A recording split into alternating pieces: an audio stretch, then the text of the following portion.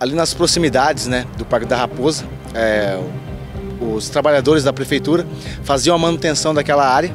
Quando, ao adentrarem a mata ali para dar continuidade a essa manutenção, viram um veículo em estado de abandono, já sem as quatro rodas e alguns equipamentos internos, né, tais como bateria e alguns acessórios do painel. Eles fizeram contato com a central de polícia 190, é, repassaram a placa para o operador e foi constatado um veículo furtado na área central de Apucarana na data dia 3 do 7.